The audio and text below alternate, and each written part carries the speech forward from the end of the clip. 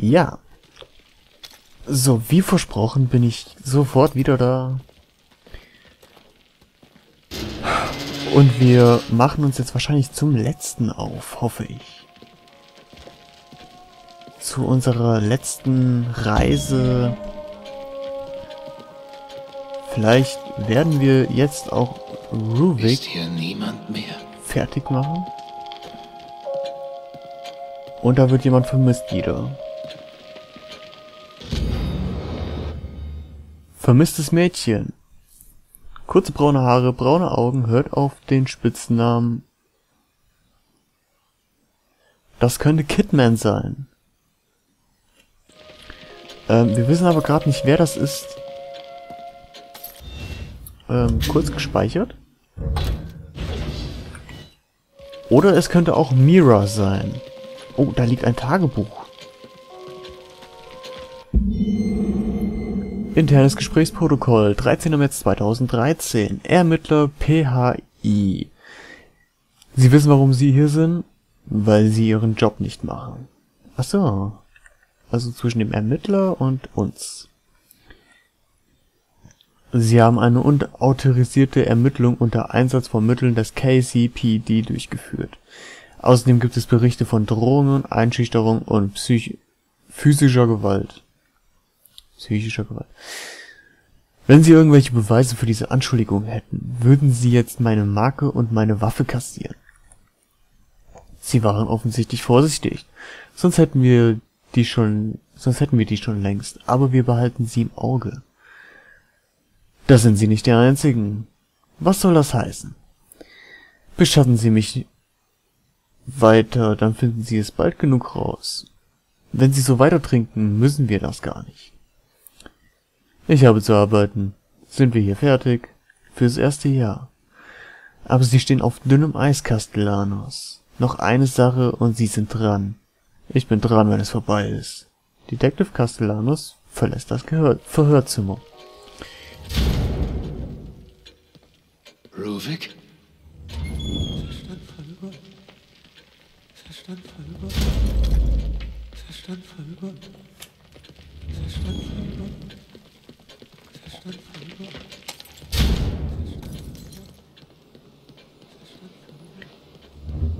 Okay, unser kleiner Lenny, wie ich ihn so gerne liebevoll nenne.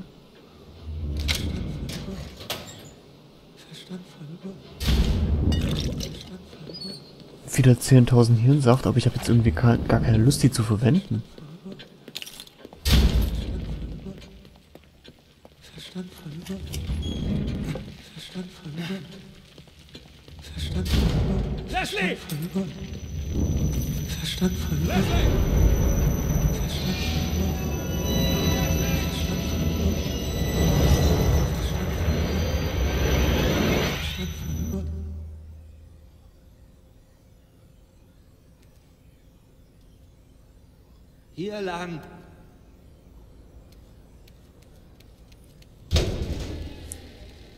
Wo will er uns hinführen?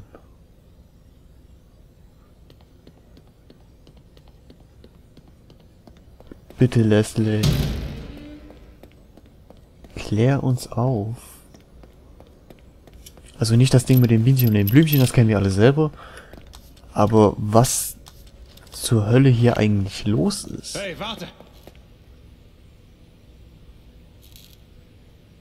G287. Äh, 278. Entschuldigung.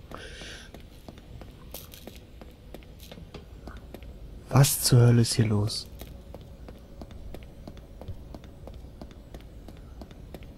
Oh, wo sind? Leslie? Leslie? Kuckuck. Hallo?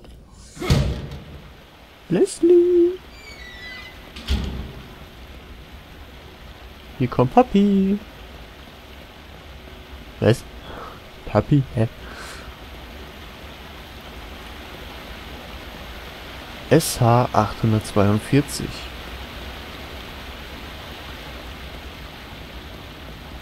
Hat das was zu bedeuten? Sind das bestimmte Ab Kleiner, wo führst du mich hin? sind das bestimmte Abteilungen? Wo müssen wir hin? Da ist er wieder.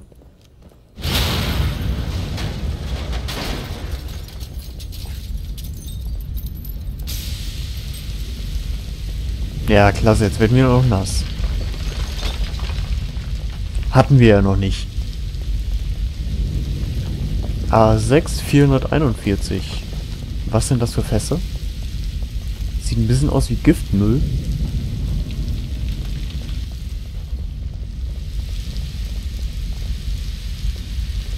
Wie so Atommüllfässer.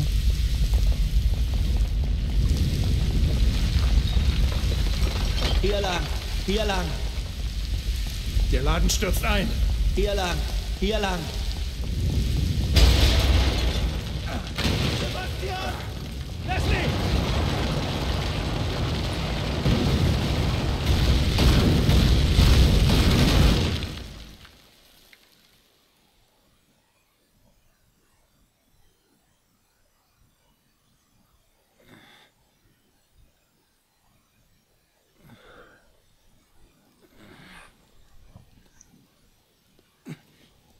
Wo sind wir jetzt wieder?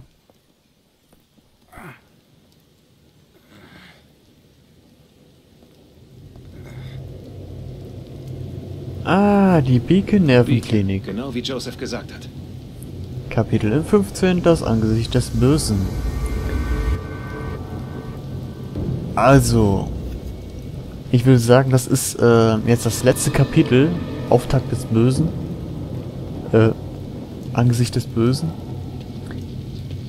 Und wir werden jetzt Rubik begegnen und es wird sich hoffentlich hier alles endlich mal aufklären. Äh, die ganzen Antworten, da stand er doch gerade. Die ganzen Antworten, nach denen wir gesucht haben, was wir uns schon das halbe Spiel lang fragen und so viele Theorien schon aufgestellt haben. Ich teilweise für mich selber, teilweise habe ich sie auch ausgesprochen. Ähm, manch eine Theorie könnte vielleicht sogar ins Schwarze treffen. Wir werden sehen. Dramatisch langsam öffnen wir die Tür. Die Beacon Nervenklinik. Ich hab's gewusst. Noch immer liegen die Toten hier rum, die wir jetzt schon be zu Beginn des Spiels gesehen haben. Allerdings steht jetzt hier ein bisschen Hirnsaft auf dem Tisch, welch wir freudig einsacken. Die Leichen liegen immer noch in derselben Konstellation da wie damals. Haben wir diesen Ort jemals verlassen? War das alles nur ein Traum? Ein Trugbild? Hat uns unser eigener Verstand einen Streich gespielt? Wenn ja, wo haben wir dann die ganzen Waffen her? Wo haben wir die ganzen Gegenstände her, die wir gefunden haben? Das kann kein Trugbild gewesen sein.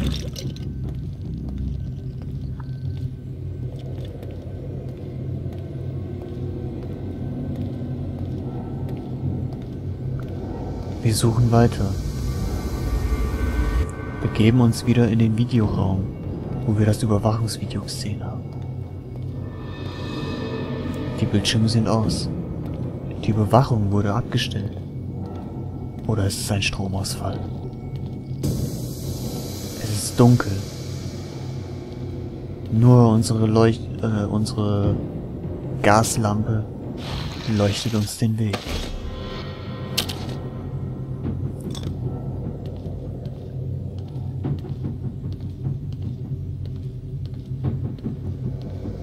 Ein paar Medikamente. Wir sammeln sie ein.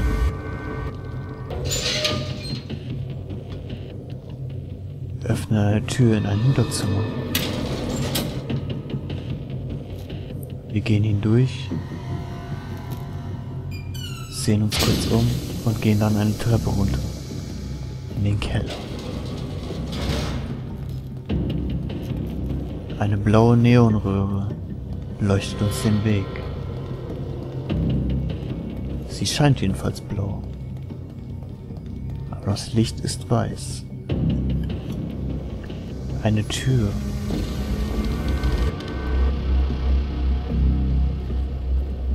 Eine Tür mehr, die uns von der Wahrheit trennt. Wir gehen hindurch. Und da ist eine Leiter, die scheinbar in die Abwasseranlage führt, in die Kanalisation. Aber führt sie wirklich in die Kanalisation? Das werden wir gleich herausfinden.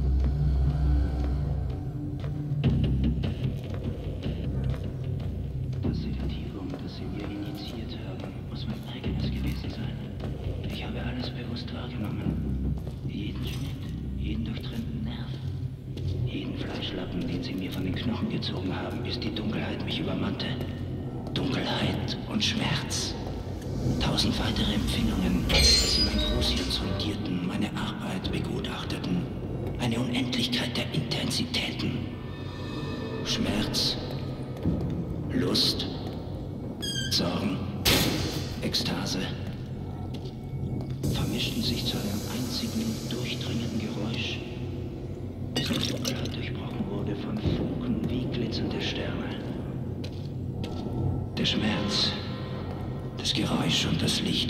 sich und nehmen Form an. Es ist der Ort, der mir so bekannt ist. Mein Gefängnis. Das hast du dir selbst zuzuschreiben.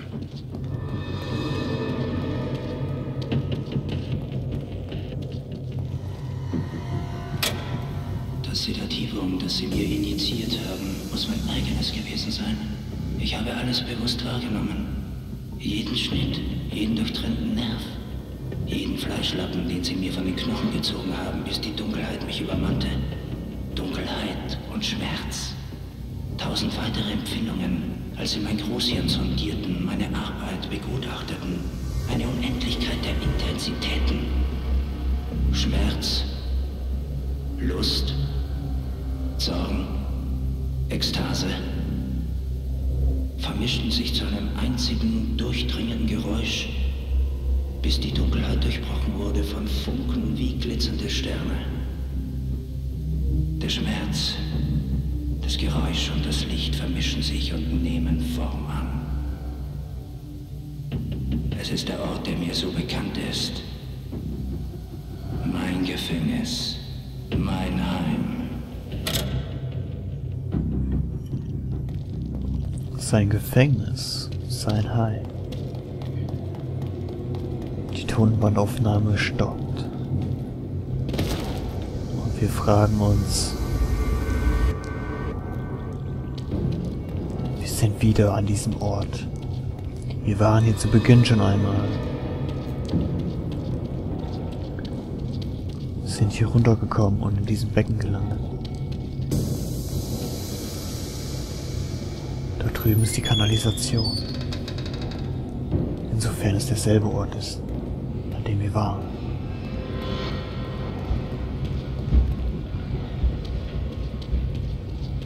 Aber diesmal ist es etwas anders.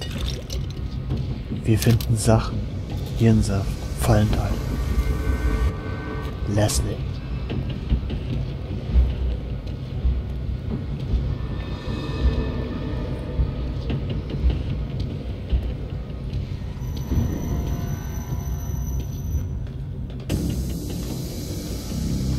Bewusst gehe ich langsamer.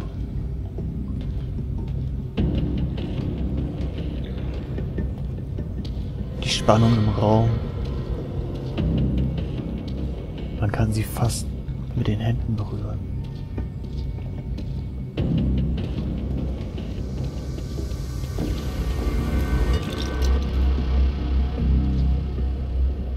Der Raum hat sich verändert. Die Leiter ist weg, die zum Hausmeisterbüro geführt hat. Was werden wir hier noch finden? Werden wir noch etwas finden?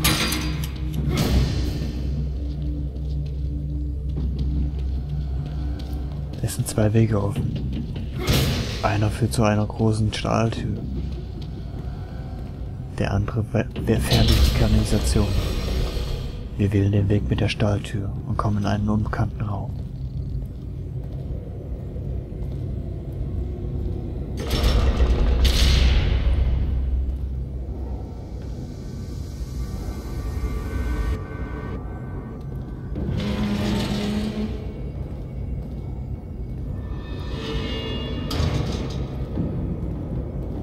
Wo wird dieser Raum enden?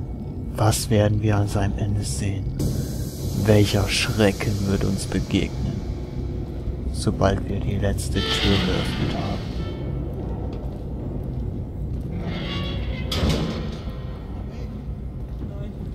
Will nach Hause. Leslie? Will nicht dahin.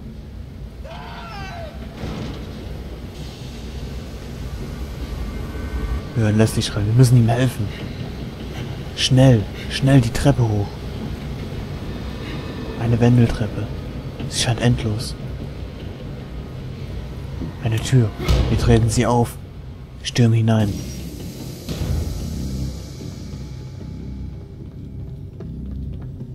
Niemand zu sehen.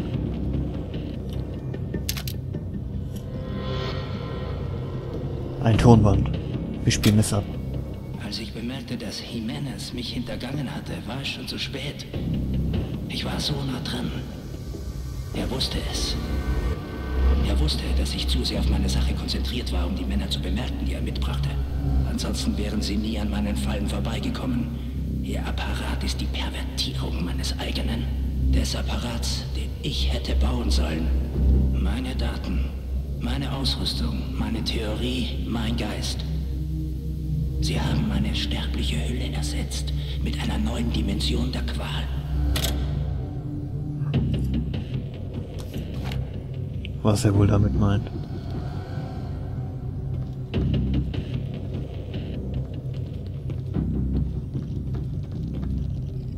Vor allem, wo geht's jetzt weiter?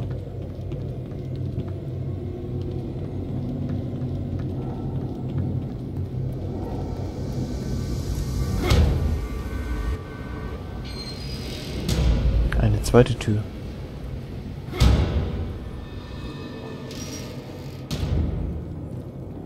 Ein Aufzug. Wir hoffen, Leslie zu finden.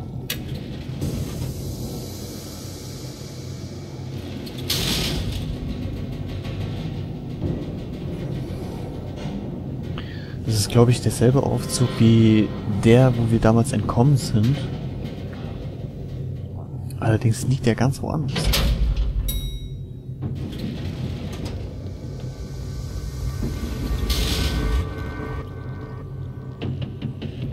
lyrical